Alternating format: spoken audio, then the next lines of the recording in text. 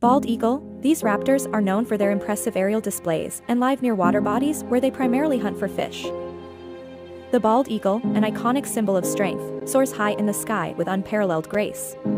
Its keen eyes scan the water below. In a flash, it swoops down, skillfully snatching a fish. Their habitat?